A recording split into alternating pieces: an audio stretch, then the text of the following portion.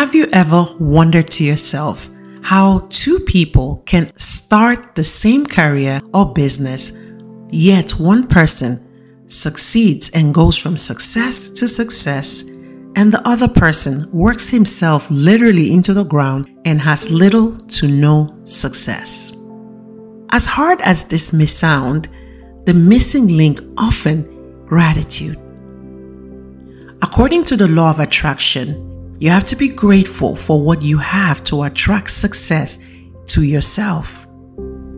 Without gratitude, permanent success is impossible. Welcome to day six of the Magic Gratitude Challenge. My name is Nse and I am a transformational coach. I am passionate about helping people transcend their past into purposeful and joy filled living. Today's challenge is on miracle work. To have success or increase in your work or job, like having new opportunities, promotion, more money, brilliant ideas, is essential to be grateful for what you do. The more grateful you are for what you do have, the more you will have to be grateful for. I once read a quote which was paraphrased from a scripture in the Bible, and it reads Whoever has gratitude for their work will be given more, and he or she will have in abundance. Whoever does not have gratitude for their work, even what he has, will be taken from him. When you are grateful for your business or job, you will give more, and when you give more, you will receive more success and money returned to you. But if you are not grateful for your job or business, you tend to give less. And when you give less, you decrease what comes back to you, and you will not be happy.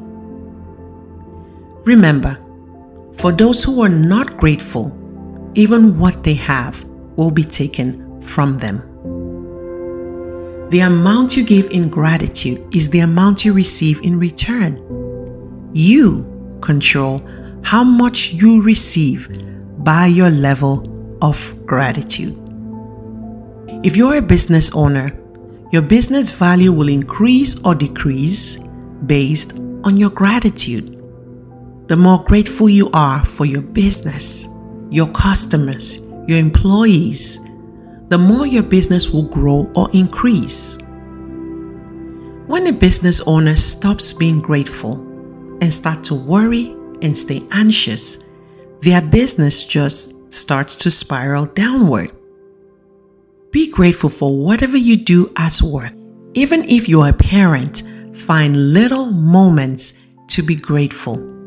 When you do that, you will attract more support, more help, and create beautiful, lasting memories. Be excited about your job or business, whatever you do. If that's not your dream job, Guess what?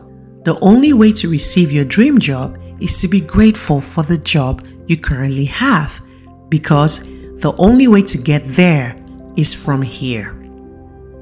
So today, the practice is 1. Imagine you have an invisible manager whose job is to track your thoughts and feelings about your job or business today.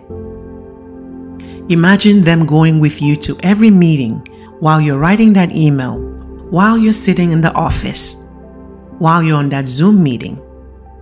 Every time you find something to be grateful for about your job, they make a note of it.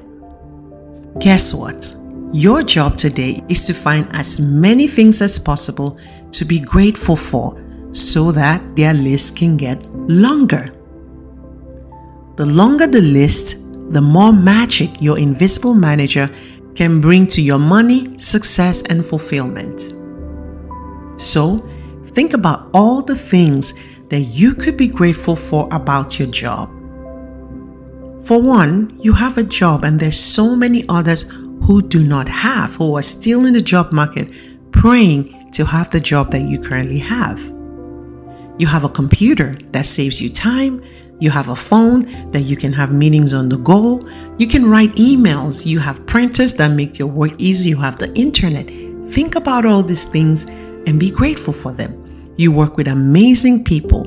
You probably have an assistant or you have janitors, people who come clean up your office so you don't have to worry about that part of it. And if nothing else, think of how good it feels to receive a paycheck and think about the fact of how your life could change if you weren't getting that paycheck. Now, your job is to give your invisible manager something to work with by saying, I am grateful for, and then you say whatever thing that you're grateful for. The more deeply you feel this gratitude, the faster your manager can start to make the magic happen for you. It's possible that you just generating this amazing magic of gratitude, circumstances can instantly improve. Lucky breaks don't just happen by accident. It is the miraculous power of gratitude at work. If this miraculous business or work practice falls on a weekend or a day that you are not at work, move on to the next day's practice and come back on the first day of work to do this practice. Now, quick recap of the practice for today. The practice for today is miracle work or business. 1. Repeat the count your blessing practice from day 1. Make a list of 10 things that you are grateful for and write why you're grateful for these things. And at the end of each blessing, say thank you, thank you, thank you. 2. At work today, imagine you have an invisible manager following you and taking notes of how much gratitude you have for your work. Your job is to look for as many things as possible to be grateful for about what you do. 3. Have your manager take notes each time you find something to be grateful for by saying, I am grateful for, and insert whatever it is you're grateful for about your job and feel as grateful as you can. And number four, before going to sleep tonight, hold your gratitude rock in your hand Think of the best thing that happened to you today and say thank you.